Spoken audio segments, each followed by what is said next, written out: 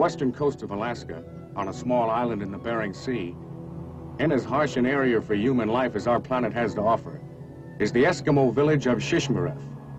This small village, which has been inhabited for hundreds, perhaps thousands of years, has a current population of 200 Eskimos, a minister, his wife, two school teachers, and over 400 dogs. The sod and ice houses of the old days have been replaced by wooden houses. This is Ralph Sinnock's house. Ralph is a hunter and an Alaskan scout, 1st Scout Battalion. Ralph's mother is a widow. Her husband died of tuberculosis five years ago. Like most Eskimos, she speaks both the English and the Eskimo language. Kimmerlet tuottajat tuot kaffe, hot cake, bacon, unan rani. Daniel is Ralph's younger brother, who would rather go hunting with Ralph this morning than go to school. Anu reacht ook nog ka. Ja, nog echt hoor.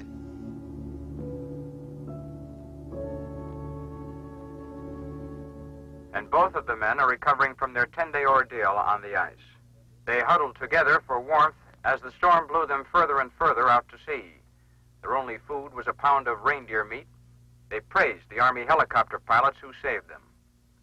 The weather now in the Nome area is clear, the present temperature 30 below, and the forecast for tomorrow is for more cold weather, accompanied by high winds. We now return to the musical portion of our program.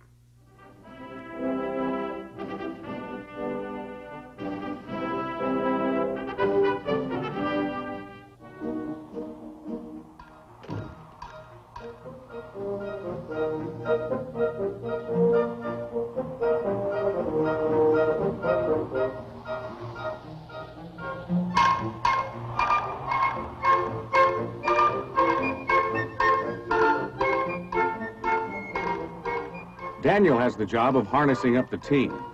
The job was not assigned to him, he volunteered. The dogs are about the same weight as Daniel, so it was an even struggle.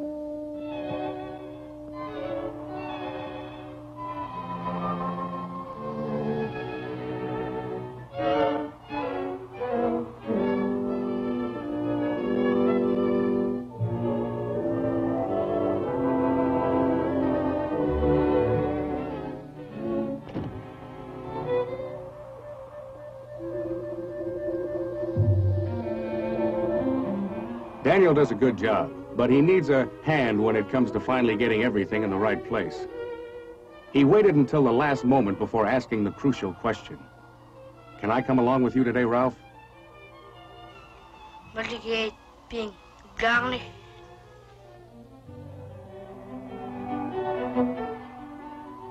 No, me onga zar kudiak tunga isku kalia tud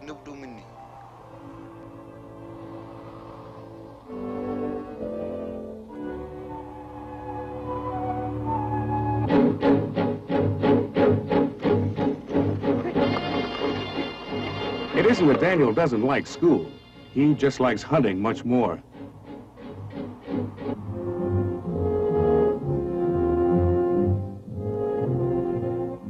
Daniel went home to get his school books, and Ralph headed out toward the open sea. He traveled as Eskimos have traveled for thousands of years. His sled was made of driftwood found along the shoreline in the summer. A team of huskies pulled him over the ice. His clothes and boots were made from the skins of animals he had killed.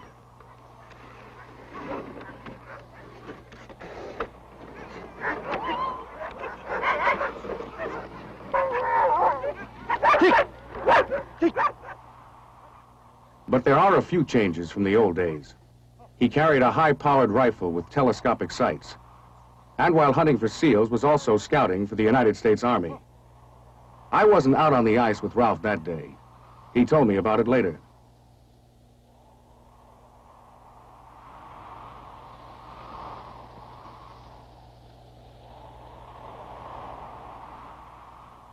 At the edge of the sea, in an area where he should have found seals, he spotted something very different.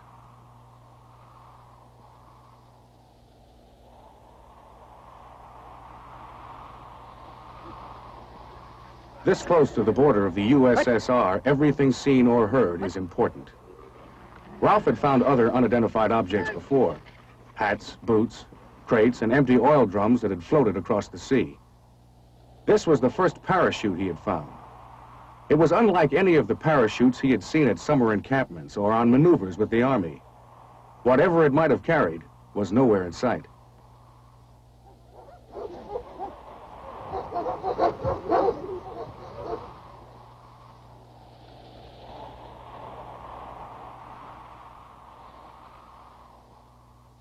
Ralph decided to cancel his hunting trip and to contact 1st Battalion Scout Headquarters in Nome immediately.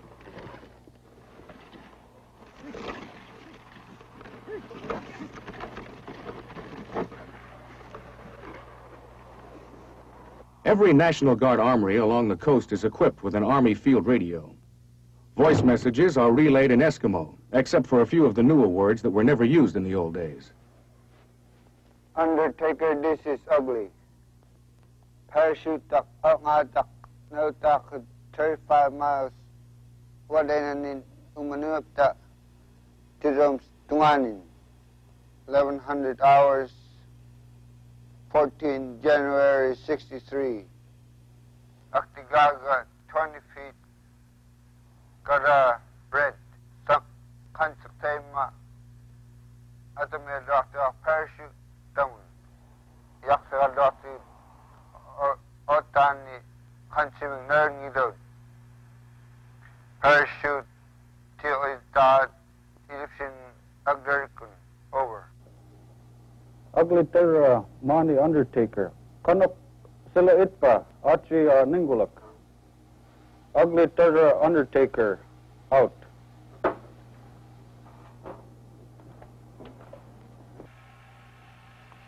Have Sergeant Celine phone this into G2 right away.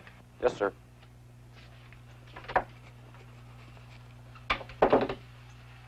parachute suspected to be of foreign origin was found 85 miles west of this location at 1100 hours this date.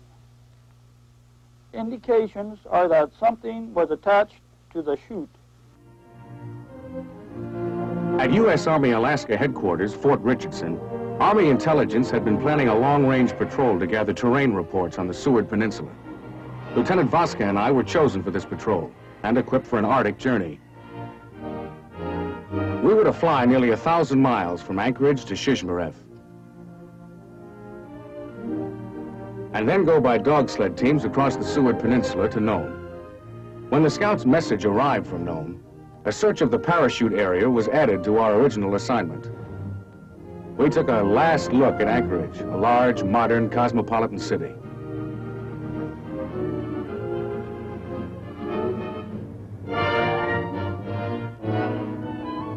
and headed west toward a small Eskimo fishing village. We skirted the highest mountain peaks in North America, made one refueling stop, and finally sighted the flat coastal regions across the mountains. The NCO in charge of the scouts at Shishmaref, Ray Ningaluk, was waiting for us at the airport.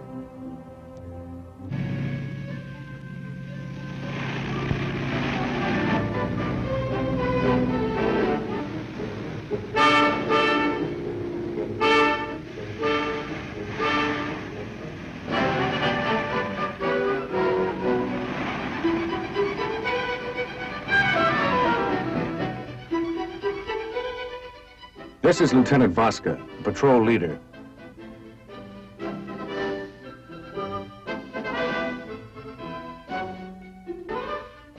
And finally myself, PFC Hickey, patrol photographer and observer. My first observation was that the Eskimos in Shishmaref were among the friendliest people I had ever met. They greeted us warmly and then carted off our food and baggage.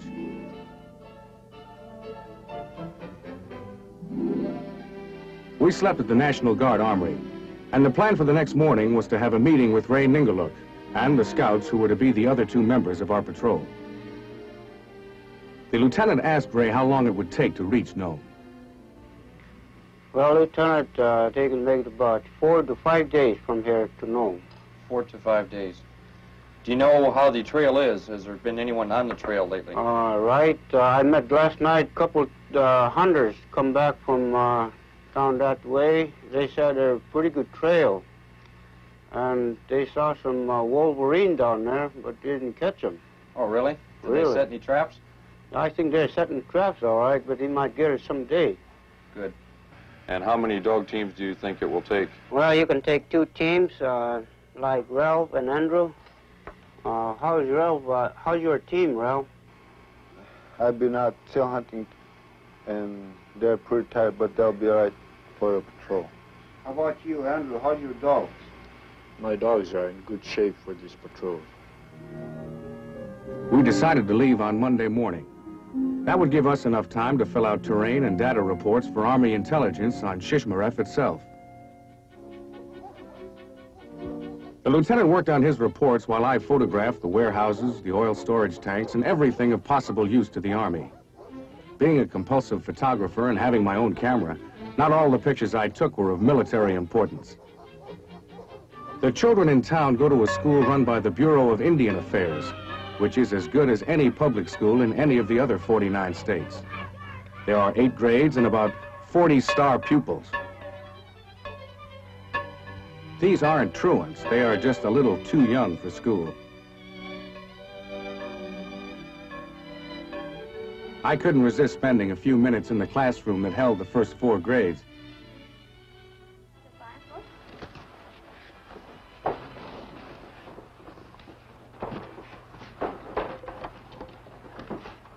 Now, yesterday we were talking about structure, and uh, does anyone remember what structure means?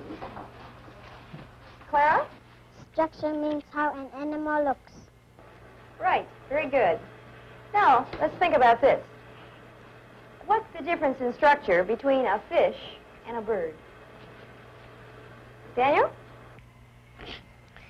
The bird has wings. The fish has no wings.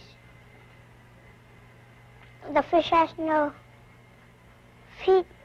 The bird has feet.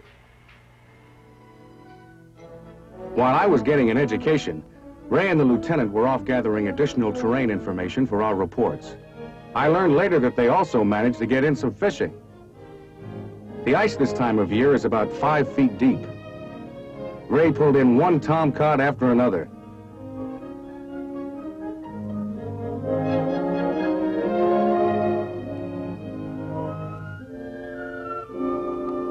The lieutenant admitted that he was not as successful.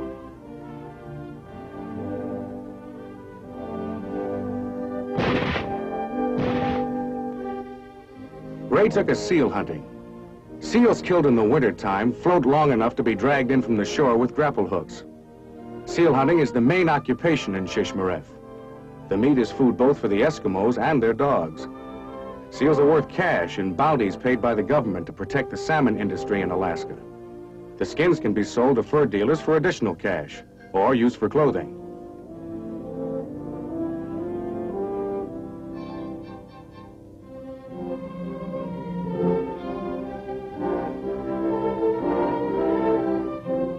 Can find seal skins drying all around the village.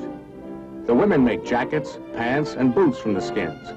Even the intestines of the animals are dried and made into raincoats.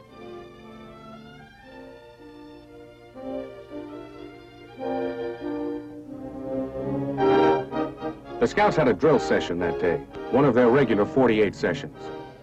There are 11 scouts in the village, but three of them are away on a hunting trip, or by scout standards, away on duty. Hold on up. Up. Salute. Here. Utuk. Here. Right. Peace. Right shoulder. Firm. Forward. Firm. Left, left, right, left. On pattern. Pound. One, two, three, four. One, two, three, four. Detail. The scouts get instructions in weapons, demolition, aircraft and submarine identification, and communications. Regular Army or National Guard officers periodically supervise the sessions. In their absence, the ranking NCO takes over. Short antenna and longer antenna about six miles, 67 miles. Uh, the scouts and a few other hunters in the village put on a special dance for us that night. It was called the Wolf Dance. Yeah.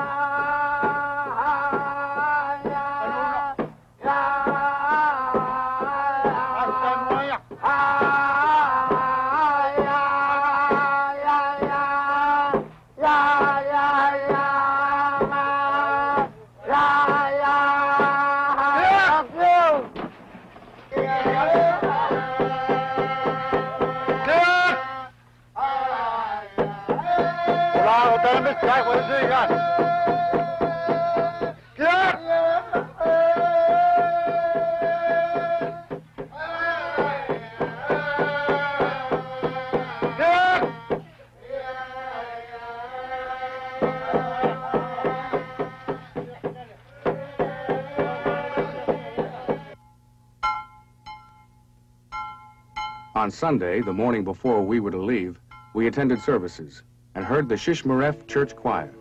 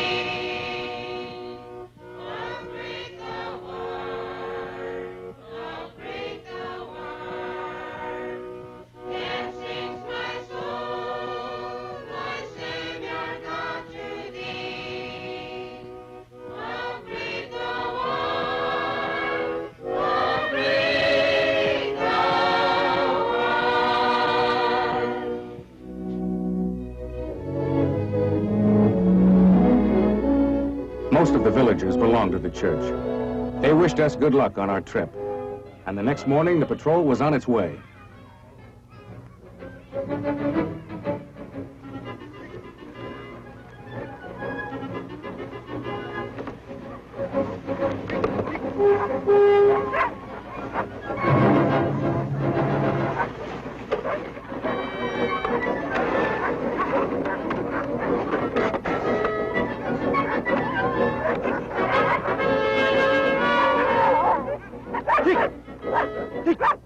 The village very early. Daniel was one of the few people to see us head out of town. We went out along the same trail that Ralph had taken on his earlier hunting trip. This trail also led eventually to Nome. I felt great. We had an exciting mission ahead, two expert guides, and two teams of dogs who could pull us smoothly all the way to the North Pole, or so it seemed.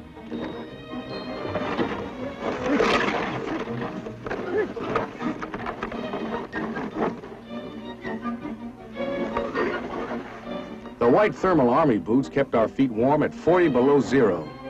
Perhaps they're not as colorful as the Eskimo mukluks, but they do the same job.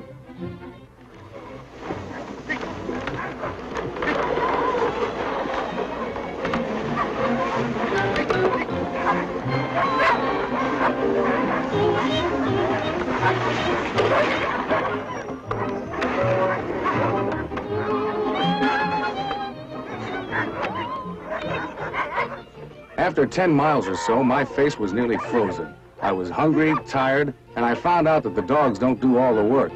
We ran with them and helped to pull the sleds over the rough spots.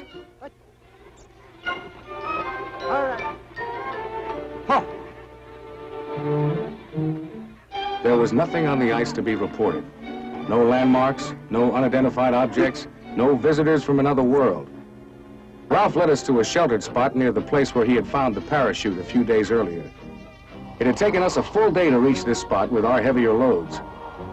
A rather quiet, tired group sat down to dinner that night, each to his own favorite dish, or at least favorite available dish.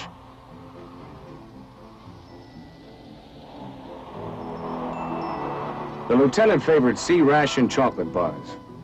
Andrew preferred fresh frozen tom cod. My choice was C ration beef stew. Ralph liked seal ribs.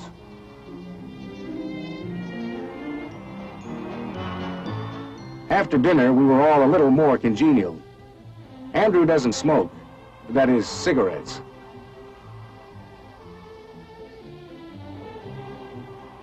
I've always thought cigars were for warmer climates, but from now on, I'll remember Andrew enjoying a stogie out on the frozen sea.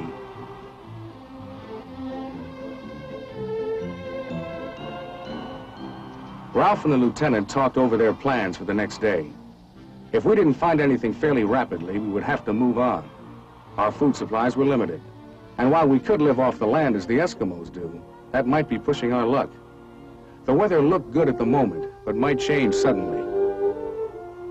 The lieutenant and I had a small army mountain tent for shelter. We took our boots off inside and slept in double sleeping bags. Ralph and Andrew, who liked to travel as light as possible, used the sleds as shelters. Their sled covers gave them protection from the wind.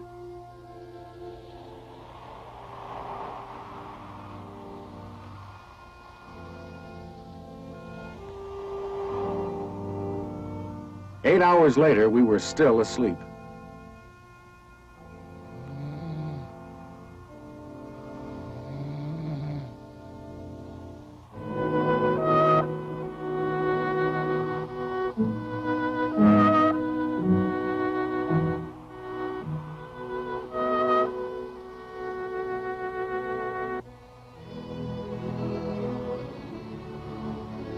The early morning Arctic air was a shocker.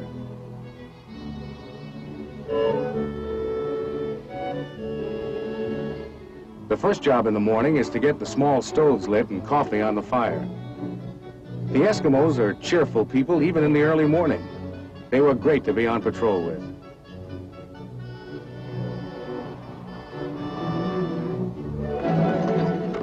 We spent the next morning searching the surrounding area. By this time, Andy and I were good friends, partners hunting for something we weren't sure existed and weren't sure we were ever going to find.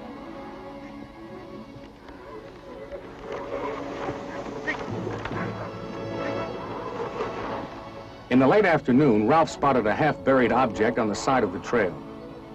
Only a hunter could have spotted it.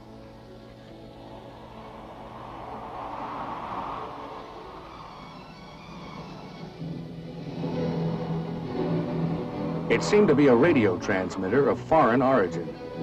When the lieutenant saw the broken shroud lines, he knew that this transmitter was connected to the parachute that Ralph had found. It must have dropped rapidly when the lines broke, and the chute gone floating on for another few miles. We wondered what a transmitter of foreign origin was doing on American soil. We headed directly for Nome with part of our mission successfully completed.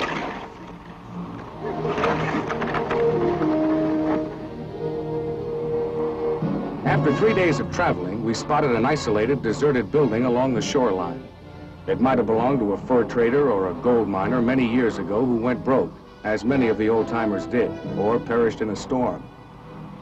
The lieutenant decided to use it as a shelter. He located it on our maps for future Army patrols who might also welcome it as a shelter or as a landmark.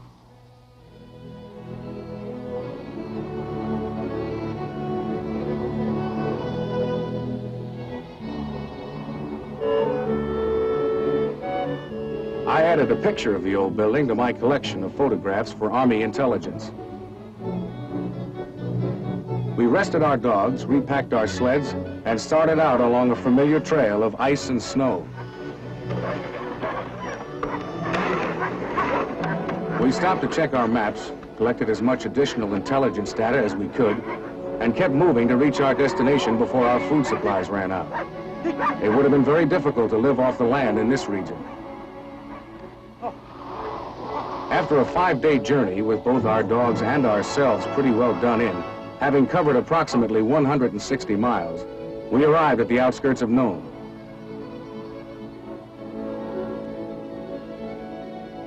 The lieutenant could have picked another route into town, but having been on the ice so long, he felt like coming in on Main Street. What?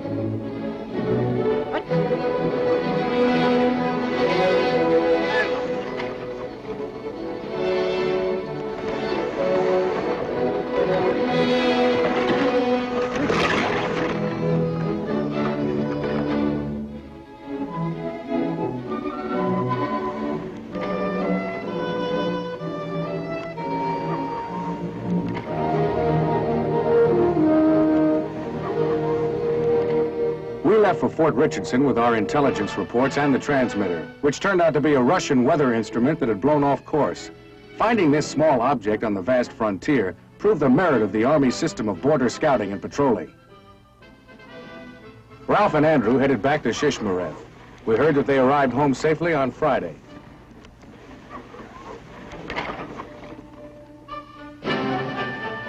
On Saturday, I would imagine that the children were sliding on the village slopes in Shishmaref just as they did the Saturday I was there. And using the swings outside the schoolhouse. Ralph told me that he planned to go hunting to catch up on the family food supplies. He said he was going to take Daniel along with him to teach him the ways of hunting and scouting. How to survive in temperatures of 60 below zero. How to make his way through storms. To find and bring back the elusive sea animals. What Daniel learns in school and learns from Ralph will help him to survive in a changing Eskimo world on the Bering Sea, guarding his country, his ancient traditions, and our northwestern frontier.